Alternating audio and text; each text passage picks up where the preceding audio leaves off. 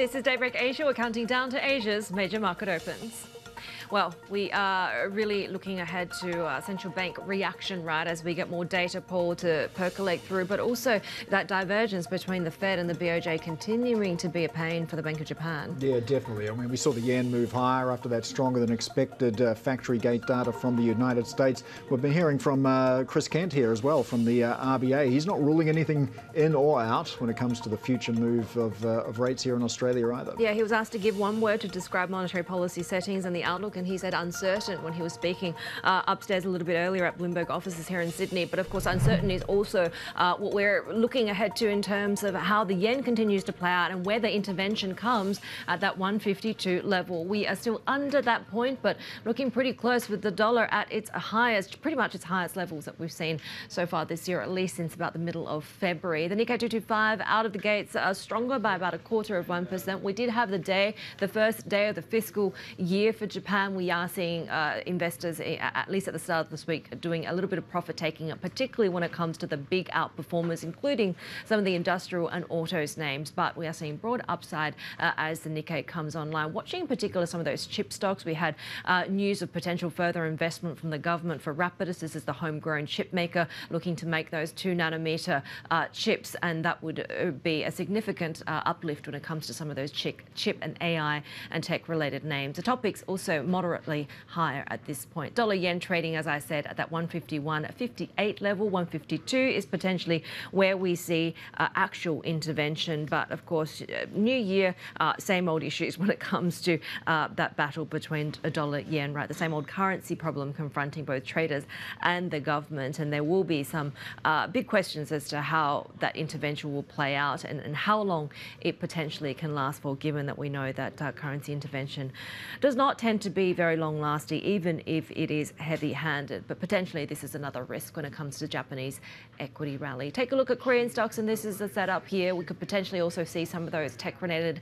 uh, chip related names in Korea reacting as well. The Kospi is a little bit softer, but the Kosdaq index is at least just, uh, just in positive territory.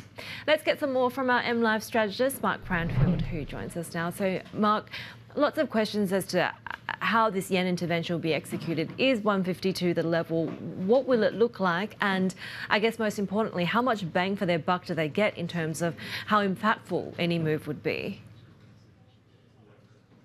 Well, the, the Japanese authorities have been quite adept in the past at letting the market get into a position where they're very long of the, the US dollar and then intervening afterwards. So that would suggest that they will let dollar yen rise through 152 if that's the, the path it's going to go ahead for.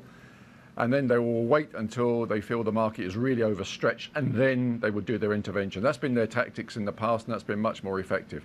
So they'll be looking for dollar yen to actually rise a bit further before they show their hand. And there may be more than one round. There, it's quite possible that they will use successive rounds of intervention to actually come in and to su support the yen. It was unlikely to be just one hit. And that's the, the way that they've, they've done it in the past. So uh, from the market's point of view, um, they won't necessarily be looking for exactly 152. They'll be thinking that it could even be closer to 153 or even higher. But certainly, the Ministry of Finance and the Bank of Japan have proved before that they're very good at taking the market off guard. Yeah, Mark, so they're good at administering the medicine, but how enduring is the medicine likely to be, especially if we keep getting data out of the US that gives us upside surprises? Um, it certainly makes it um, a lot more difficult for Japan because of, as you say, now that people are increasingly looking for fewer interest rate cuts in the United States. It, it may only be that two interest rate cuts get priced into the market for the rest of this year, which is obviously positive for the US dollar, and it uh, doesn't help the Japanese yen at all. But the Japanese authorities have shown they can be coming in very big size. They, they can be very persuasive. So they will be thinking they can move dollar yen by at least 500 pips. If it's at 152, knock it down to something like 147 or somewhere in that kind of a zone. So they won't be looking for a small move. They'll be looking for something significant where they can really persuade the market there on top of the situation. But the timing of it will be crucial, and they'll be prepared to do it outside of Asian hours. They don't mind intervening in New York or in London. All right, Bloomberg MLIV strategist Mark Cranfield there. And our next guest expects dollar yen to weaken modestly this year. So let's bring in the Hartmut Issel, head of APAC Equities and Credit at UBS Wealth Management. So, Hartmut, let's uh, start with your views on the yen. First off, can you uh, define modest for us? And do you have a number in mind that the finance ministry will be looking to defend? Uh, on the former, cer certainly, let's say, you know, towards year and maybe a bit beyond, let's say, you know, 144 level, um, thereabouts. But uh, we, critically look really, um, as we just also heard, I would agree with that. It really matters what happens in the US. Uh, think in terms of interventions, we, heard it a, few times uh, already in the recent past. And whether that can be really um, that effective is, uh, it certainly helps the, yen on the margin if they do but I think that remains to be seen whether we can have that effect. So yes, the, key is that um, we see broader sort of sort of dollar weakness happening, and only then uh, we, we think actually the, the yen can uh, sort of outperform a bit uh, some of the other currencies. And uh, if and when it happens, what sort of impact do you expect to see on Japanese equities, which have really had a tremendous run over the past few months? Yeah. You would first and foremost expect some effect on the um, on the exporters, naturally. So therefore, it's probably good if you look at uh, exposure in Japan, where we have sort of a neutral position, um, to focus a bit more on either value or, in particular, uh, domestic stocks, uh, financial stocks in particular. I would mention. I think um, the, these are the these are the promising ones within Japan. Um, on the margin, probably exporters a bit less so. Uh, when you take a look at China, you say that you're focusing on the alpha. What does that sort of translate to when it comes to sifting through what does look like perhaps an emergence of opportunities now? Yeah. Uh, what we're seeing in China is quite, quite interesting. We see a, couple of capital measures and over the last couple of years, that has actually sort of intensified, right? Also, I guess, in the absence of uh, growth like we used to see it. Uh, so that could be interesting opportunities, dividends, buybacks.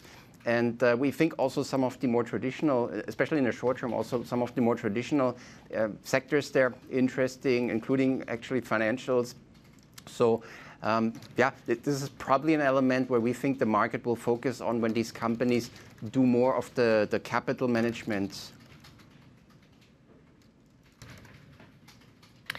Uh, uh, uh Hamid, when you take a look at the broader sort of AI and chip-related rally that we see across the board, and we actually just had, you know, potential reporting of more investment from the Japanese government uh, into Rapidus in, in Japan, how much further is there to go for this? And what I guess is the next wave of opportunity when it comes to AI? Yeah, would think uh, we're seeing currently probably still for, for maybe short number of months, the um, semiconductor space very, very strong. However, we need to remember this, this is still a cyclical industry, even now. Uh, so we do expect, uh, and, and, we're already starting or have started since since end of last year the upturn. So we're in an upturn, arguably on the semiconductor side. So what we think in terms of um, where we could go next in AI is that uh, maybe towards the middle of the year, or certainly in the second half of the year, we already began to switch a bit of the exposure. We still have a lot of semiconductor exposure, but uh, piece by piece, sort of shifting it a little bit more into slightly more late cyclical, I should say, AI exposure, and especially also into software. I think uh, that is the prudent move for now. Do you see any risks to the AI story, particularly around supply chains? I would say that's the only risk or what we what we're currently witnessing is that um, the, the, big investments, also the, the, demand for the, for the semiconductors, for that matter, comes mostly from what people call the hyperscalers. So um, the important thing is that um, this, this broadens, right? So that other industries are, that we just heard, right, governments uh, as well, that they really also step in and then, um, you know, when the sort of the appetite of the of the hyperscalers maybe flattens a little bit, that we also get other industries really significantly uh, adopting. Uh, I, am pretty sure that will that will happen. Uh, but yeah, there, there's maybe a risk if they maybe time it differently. If they if they're first a bit hesitant to do it or, or, or take their time with it, then that could be that could be a risk. Uh, have your views on opportunities in China changed at all recently? Because we had some pretty good uh, PMI numbers out over the past couple of days. Uh, do you think all the bad news is in now and we're seeing some signs of a turnaround? Yeah, certainly a, a lot of bad news. I mean, if you uh, is, is in the price, and if you look at the, where, where the valuation stands, it's, it's um, is about half the, the, the, multiple that people were willing to pay still four years ago you know, has, has that much changed? is, is, is, that not a little bit too much?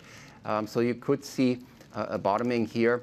And yeah, within it, uh, certainly as I mentioned in the short term, probably some of the more sort of traditional sectors, or especially when, when you see stabilization in the economy and the PMIs do suggest that, um, then, then this is the place to invest.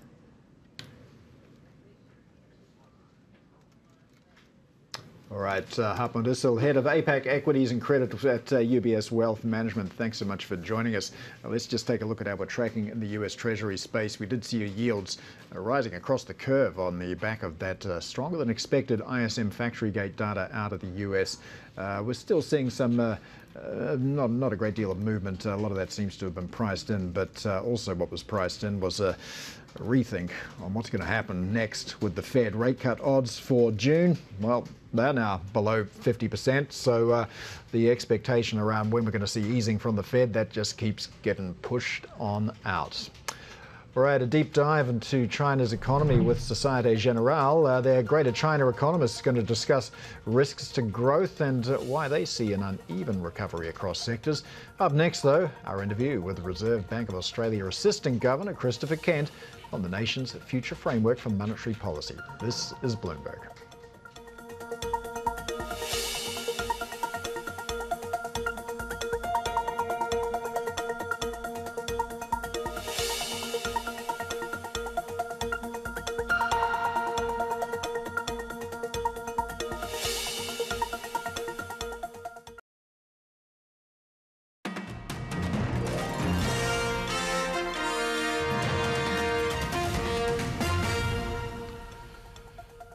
Seeing some very modest gains for the ASX today. Got a lot of uh, stocks trading ex-dividends, so that might explain why it's kind of a muted session. But there are a few standouts. Treasury wine performing pretty well, and this is, of course, after China uh, removed its remaining trade strikes on Australian wine. So this is the first opportunity uh, that investors have had to react to that news. Uh, materials sector also performing pretty well, as we've seen a modest recovery in iron ore prices as well after some reasonable data out of China.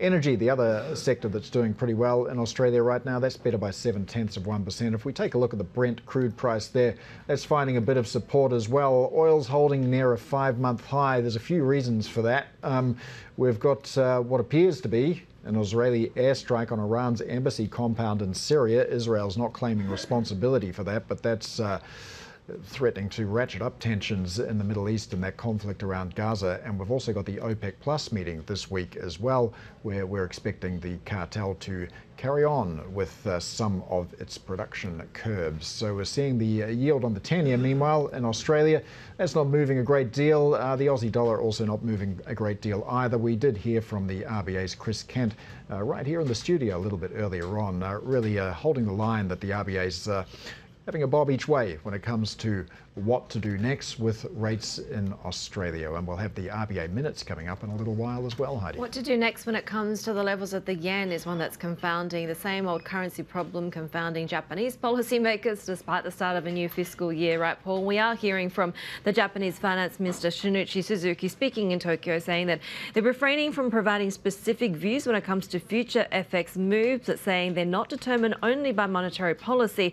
Of course, referring to that uh, divergence between the BOJ BOJ and the Fed, and therefore the yen and the dollar. FX moves are determined by various factors, uh, talking about that it is important that those moves are stable and reflect fundamentals. Excessive moves are undesirable. We have had heard this uh, before, but the authorities are watching Forex moves with a high sense of urgencies, and they're not ruling out any options against FX moves that are deemed to be excessive. There will be an appropriate response taken, according to Finance Minister Suzuki Suzuki speaking in Tokyo. Now, they've refrained from providing specific view on future FX moves. We also heard from the ex-form uh, BOJ chief uh, Haruhiko Kuroda saying that the recent yen weakness he sees as being excessive as well. So we are on intervention watch. 152 to the yen is where markets see that potentially kicking in.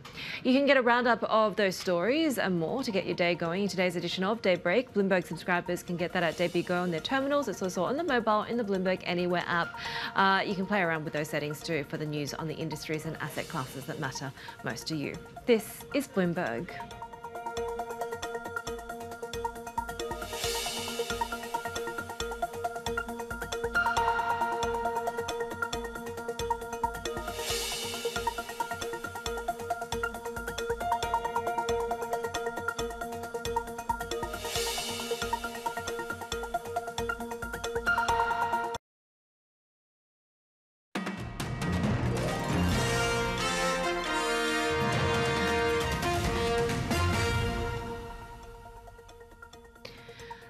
Some of the movers that we're watching in just about 20 minutes or so of trading in Japan and over in Korea. Nippon Steel is one to watch. We're seeing upside about 2.5%. Nippon Steel making what it calls a formal commitment to spending and jobs to the United Steelworkers Union, backing up a pledge that it made uh, earlier as it looks to build support for that.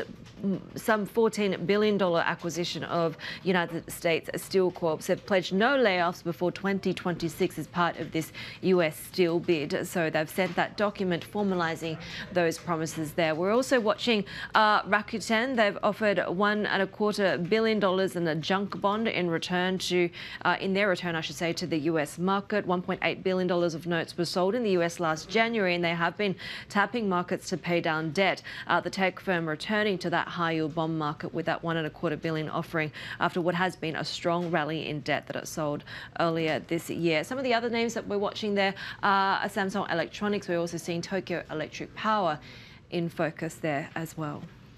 Japan's approved almost $4 billion in subsidies to chip venture Rapidus as it commits more money to playing catch up in semiconductor manufacturing.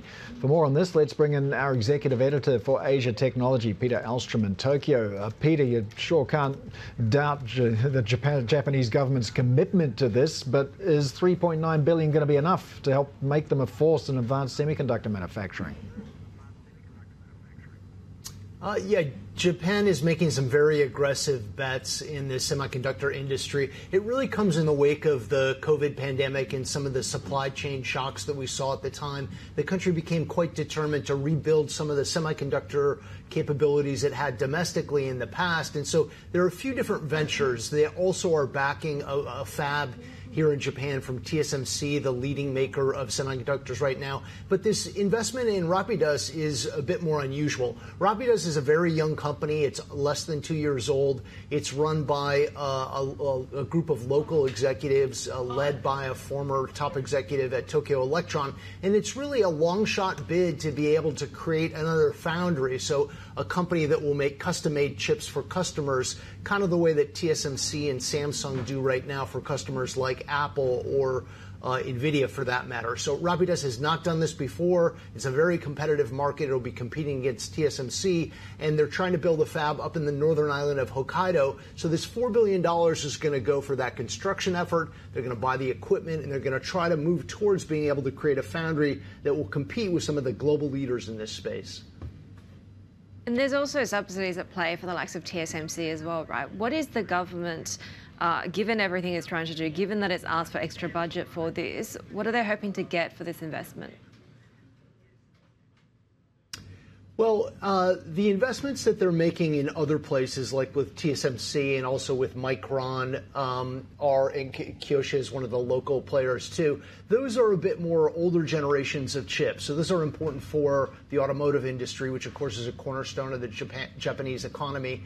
Uh, that's quite important. Rapidus is really more cutting edge. They want Rapidus to be able to create advanced semiconductors that could uh, for, for a variety of customers, including some local customers, that could help them compete in some of the more cutting edge areas of technology, like artificial intelligence, like some of these quantum computing, some of these areas where Japan has not been able to produce chips in the past. And really, there are only a handful of companies that can make chips that are so advanced. TSMC in Taiwan is one of them. Uh, Samsung is really another one, but the list is very, very short. So the fact that Rapidus, a company that, again, is only about 18 months old, could co- sort of leapfrog into that competition and be a viable competitor is considered quite a long shot. Executive Editor for Asia Technology, Peter Elstrom there in Tokyo. Well, Bloomberg opinion columnist and former New York Fed President Bill Dudley says bank regulation should focus on preventing sudden and rapid withdrawals rather than simply raising capital requirements. He told us the era of social media and 24 hour banking mean deposit runs will be much faster, outflow rates much higher.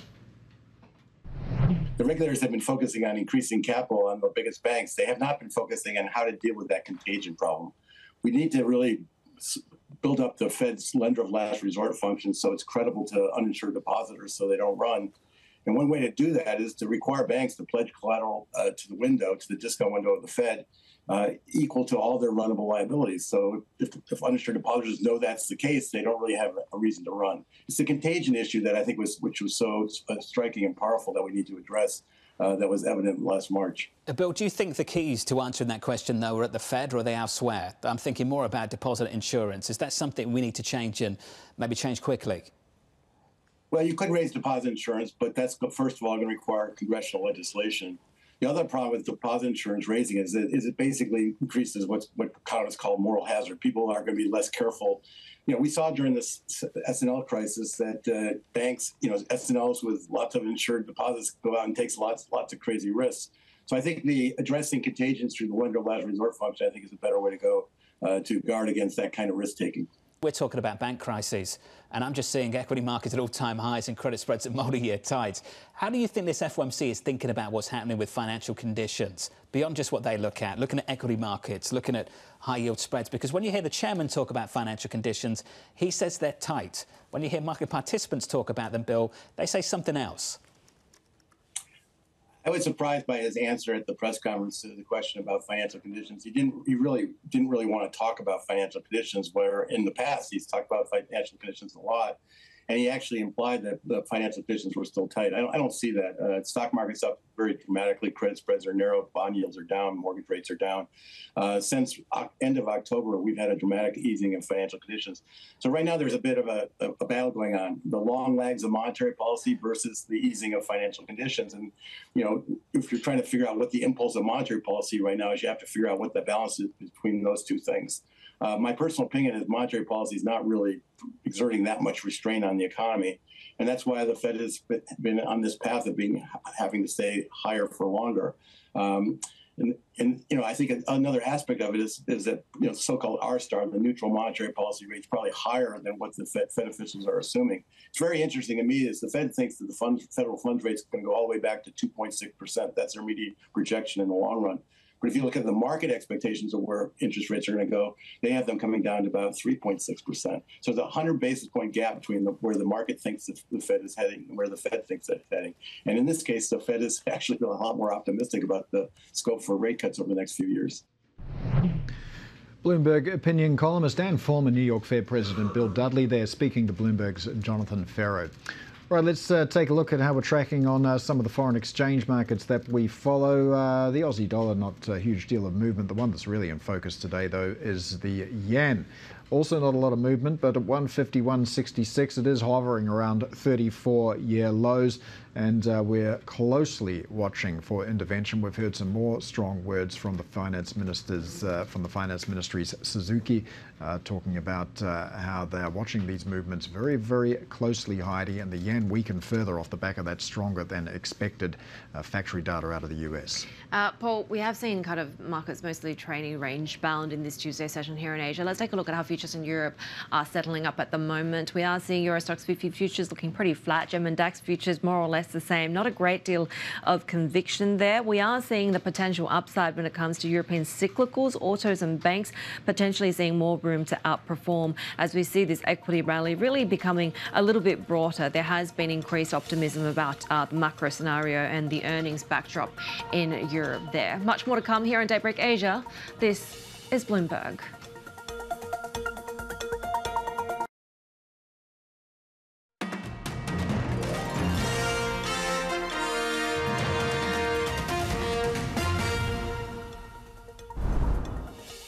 We are getting uh, some RBA minutes out there from uh, the March meeting minutes, and the RBA saying it didn't consider the case for a rate rise in March, according to those minutes, reiterating they will do what's necessary to hit that inflation target. And interestingly, look, since then we have had softish kind of CPI coming through from the February, at least for the headline number. Uh, there are some sort of seasonal factors showing pretty solid outcomes there, consistent with the expectations expectation that we'll continue to see broad disinflation as a trend. But uh, the minutes also indicating that the CPI is high but gradually returning to target, and it's not possible to rule in or out future changes to the cash rate.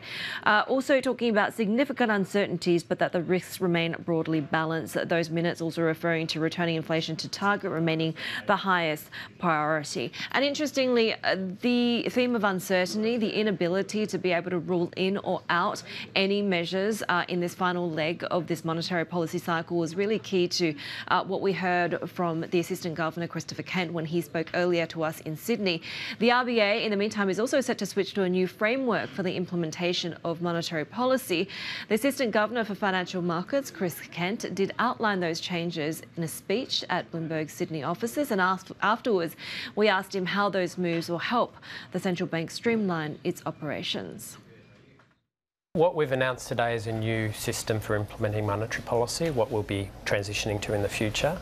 But I wanted to emphasise that really is about the plumbing, the nuts and bolts of moving money around, about us achieving our cash rate close to the cash rate target, but it's not what that target is.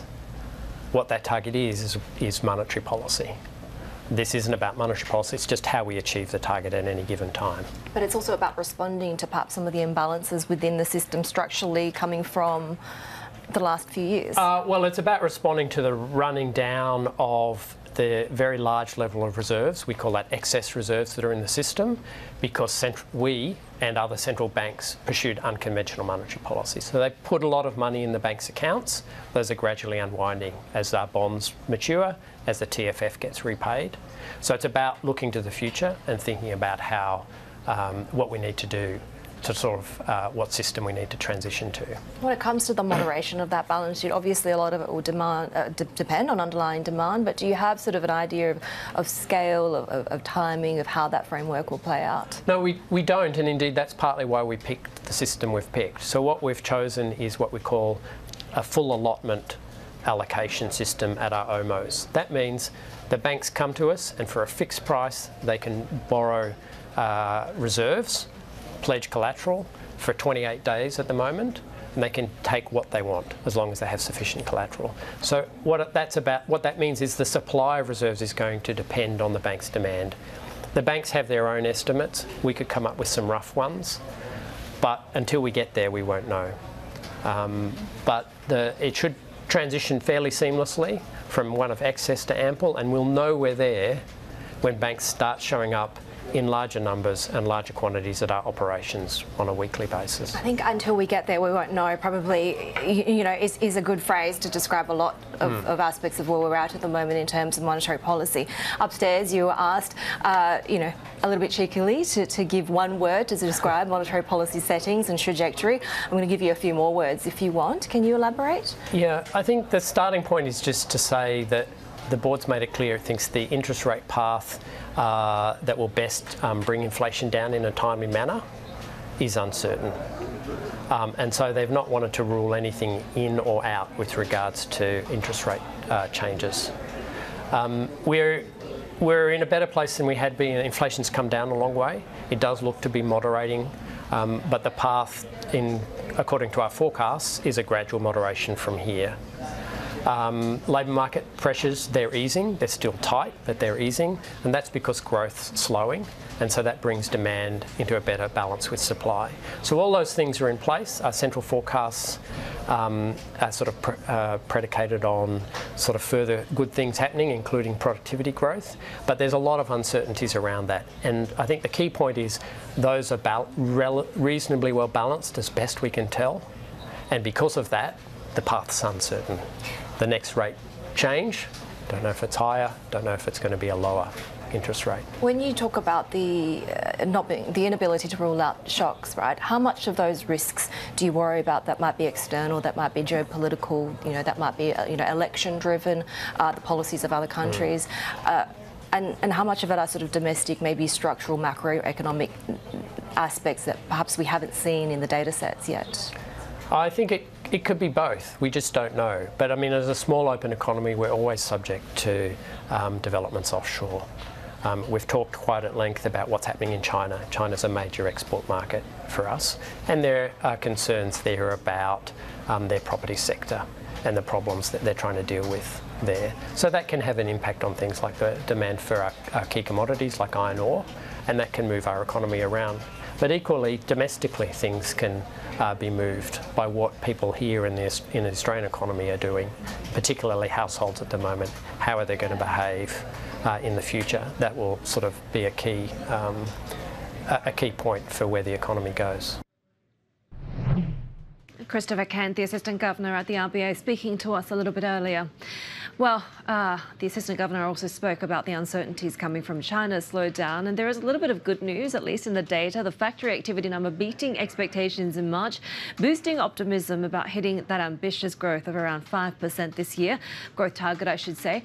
Despite that pickup, though, in most sub-indexes in those PMI surveys, economists are cautioning that it remains to be seen how sustainable the rebound will be. Joining us now is Michelle Lam, who's a Greater China economist at Societe Generale. Michelle, great to have you with us. And we know that data in the first couple of months of the year tends to be, you know, pretty patchy at the best of times, even with uh, new methodology. Are you confident that the corner has turned for China's economy? I think, uh, judging from the March PMI data and also the January February data, I think there there is uh, some signs of the economy uh, at least uh, stabilizing or picking up.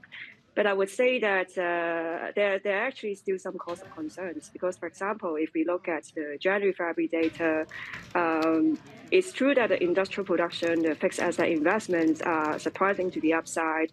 But we, if we look at the retail sales, I would say that uh, the momentum is still pretty sluggish, especially on the goods front. And going back to the March PMI data, as for example, if you look at the manufacturing new orders, it seems that the majority of the pickup is driven by the new export orders. But uh, for the domestic demand, I think, especially for consumption demand, it remains to be seen if uh, it is really uh, starting to uh, recover more notably, especially if we consider what's happening to the housing sector, which is still is decelerating at this stage. You talk about the sluggishness, and I think the thing that I'm always watching is is confidence, right? Sentiment, the concern about the sort of uh, stagflationary uh, aspect of how households might be feeling at the moment. Do you see any signs of that staging a turnaround? I think if you that unfortunately for economists, there are actually not a lot of uh, data to really gauge uh, the consumer confidence. Um, but I think some of the indicators that we look at, for example, the, the house prices, uh, they are still falling. Uh, if you look at the NBS data and some other private sources, uh, for example, um, if you look at the stock market, I would say that perhaps the things are starting to stabilizing, but uh, but that's actually after a big correction that we've seen around the, the, turn of the year. So it really remains to be seen if we are really the, starting to feel the stabilization in the economy impact broadening uh, to the household confidence. And in terms of the wage growth, uh, I think for the quarterly data, the, we only have the fourth quarter data of last year, which uh, we do notice that uh, the growth momentum has still been uh, pretty sluggish, especially uh, for the urban citizens uh, compared to the rural citizens. And uh, I would say that if we look at some of the private data sources in terms of the wage gains, some such as the job recruitment data agency, it seems that the wage momentum is still not very strong for us to really see a, a big support to improvement in the consumption right now. Michelle, do you think policymakers in China can claim vindication now for not using that bazooka stimulus that we'd all become accustomed to? So I think it depends on what you mean by the bazooka. Um, for example, for the monetary policy expectations, we still expect uh, some uh, policy rate cuts and triple R's cuts uh, for the rest of the year. Uh, well, given the March uh, upward surprise, it could be the case that uh, we could be seeing these kind of stimulus coming at a later stage rather than an early stage. Um, I think for the property easing, uh, they've already sent some signals that there could be more demand easing coming through uh, a couple of weeks ago. So I think we could continue to be seeing uh, some uh, local uh, government relaxing the purchase restrictions, uh, even in the top tier cities, and even mortgage interest rate cuts. But uh, there's also a question of whether we could see this translate into a, in, into a recovery in the housing sector. Um, I think for now, for the big bazooka, for example, like uh, a further issuance uh, in the special CGBs, I think the chance is uh, much uh, less likely given the uh, positive momentum we've seen for the first quarter. Uh, we had a warning from Ray Dalio this week that if China doesn't get on top of its debt, it's facing the risk of a lost decade. Do you have any thoughts on that? I think it's true, um, uh, but I think at the same time, the, the government is uh, sending some signal that it is tackling the debt issues. For example, for the central government uh, at the NPC, they decide uh, this multi-year issuance of special CGBs to try to uh, open the new door to support uh, the financing of the key strategic projects. So I think it also allows some room for the local governments and the local government financing vehicles to cut back the debt. But I think more importantly, the China needs some structural reforms to really unleash the uh, demand of the consumption. And I think uh, even if we talk about uh, financing more infrastructure projects, that's not going to really increase the share of consumption in the overall economy. So I think that's what the policymakers really need to focus about, which is uh, to try to uh, make some reforms to the secure, national security systems, maybe reduce some of the payments, even temporarily, to in, to improve the consumer confidence. And, and I think that's really most important for us for us to uh, support the consumption demand right now. All right, Michelle Lam, Greater China economist at Societe Generale. Thanks so much for joining us.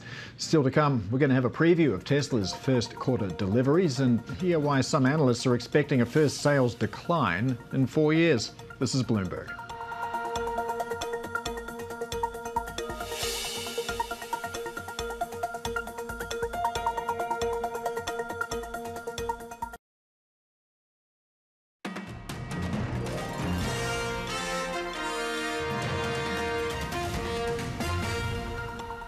Board's made it clear it thinks the interest rate path uh, that will best um, bring inflation down in a timely manner is uncertain.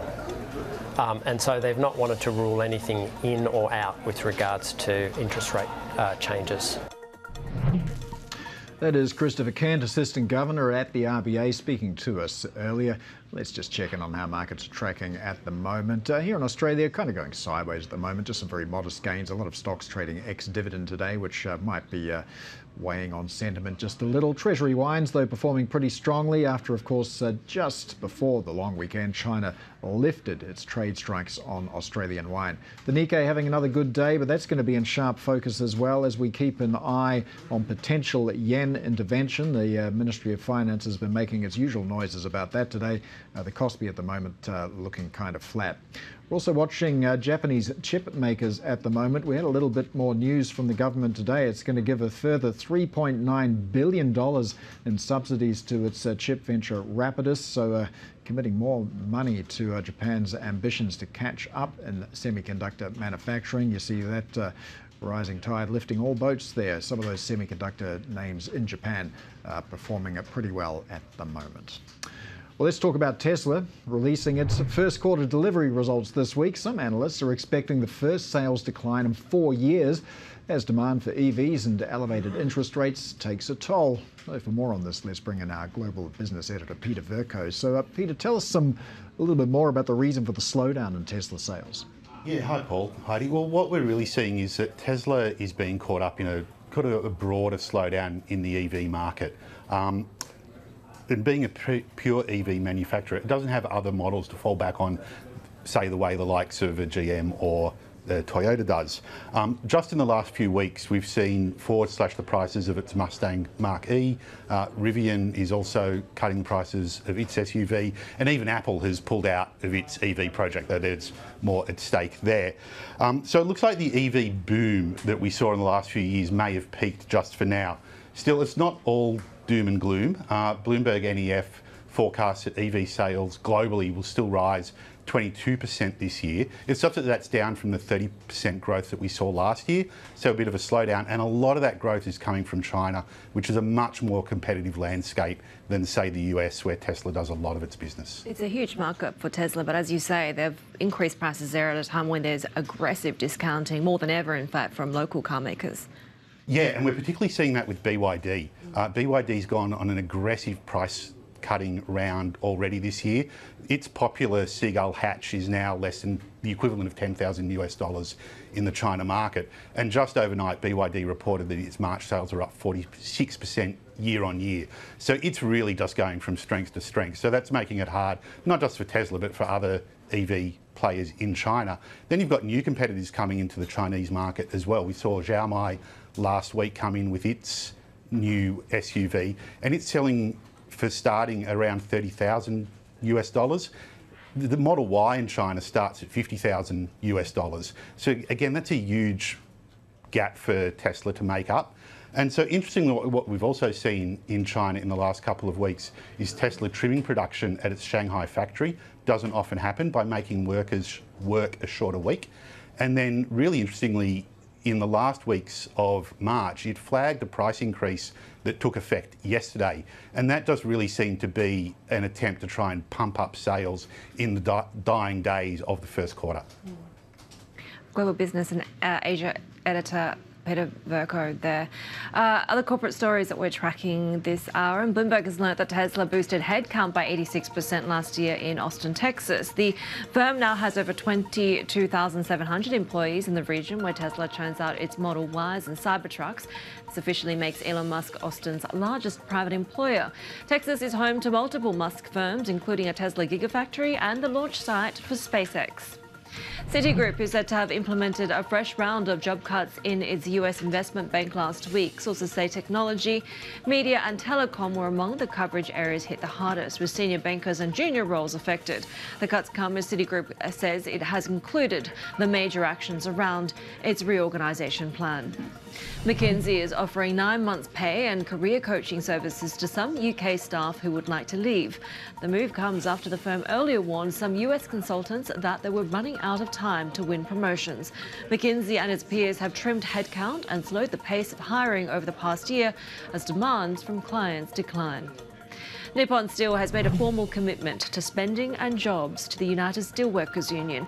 The agreement includes an extra $1.4 billion in capital spending, as well as a promise of no layoffs before 2026. Nippon Steel's new president has pledged to press ahead with the takeover. That is despite opposition led by President Biden, who says US Steel should be American owned. Be sure to tune into Bloomberg Radio to hear more from the day's big newsmakers and get in depth analysis there from the Daybreak team. Broadcasting live from our studio in Hong Kong, you can listen in via the app that's Radio Plus or BloombergRadio.com. More ahead, this is Bloomberg.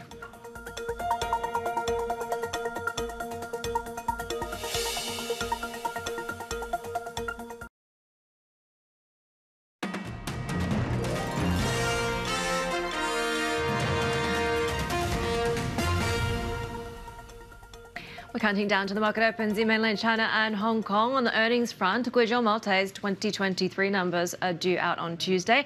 Bloomberg Intelligence sees the company posting 17% profit and revenue growth year on year. Let's get more from our senior analyst, Ada Lee. And Ada, Moutai is always interesting, right, in terms of being a commercial, a consumer bellwether. And given the weakness that we've seen in consumer sentiment, what are we expecting? Absolutely. So we are expecting 17% growth in its sales, which will drive the sales to about 150 billion yuan this year. This is actually ahead of uh, the management target of 15% growth this year. And then what boils down to then is a 17% growth in earnings this year as well. And this is actually a very uh, robust set of results uh, that we're expecting, given that the consumer sentiment is actually quite depressed at the moment. So, uh, Ada, never mind the consumer sentiment being depressed, uh, analysts still really like this stock. I think it's something like 51 buys. So, where's the enthusiasm coming from? I think it's the fact that the company managed to develop consist or, or to deliver a consistent uh, result in terms of its sales as well as earnings. So if you look at its gross margin, it is at industry high of 92%. I really don't think you can see any, any other companies with that type of gross margin. Its operating margin is also very healthy uh, and with the opportunity to further expand going forward. What we are looking for in the set of results in particular is actually is direct to consumer sales contribution because that is one of the key drivers for gross margin going forward. You, you, talked about expansion, and certainly in terms of um, product market and, and uh, the demographic expansion, Moutai has been working a lot on that, particularly when it comes to enticing younger consumers, right?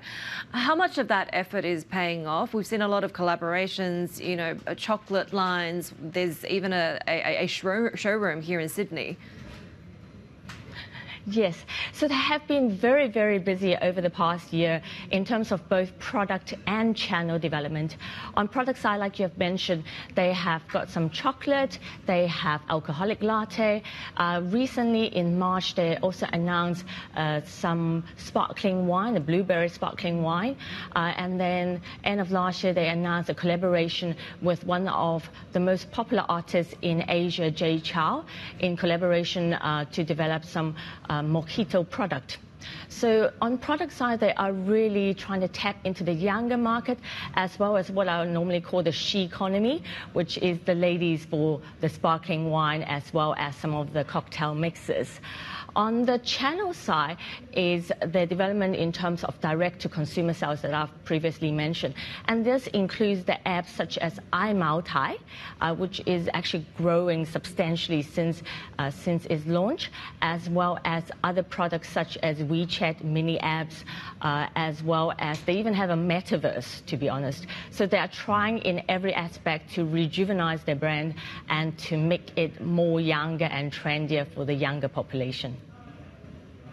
All right, Bloomberg's intelligence senior analyst Ada Lee there on those uh, Moutai earnings, which we'll get later today. Time to check some of the stocks to watch when markets open in Hong Kong and mainland China. So uh, keep an eye on Chinese EV stocks. This is after NIO announced a boost in its deliveries for March. Meanwhile, its peers, BYD, Geely Auto, and Great Wall Motor all reported a rise in their March vehicle sales. And Asian Tesla suppliers are going to be back in focus. Analysts rapidly lowering their projections for this week's deliveries report from Tesla. Some expect to see a first decline since the early days of the pandemic. Well, that is it from Daybreak Asia. Markets coverage does continue as we look ahead to the start of trade in Hong Kong, Shanghai, and Shenzhen. The China show up next. This is Bloomberg.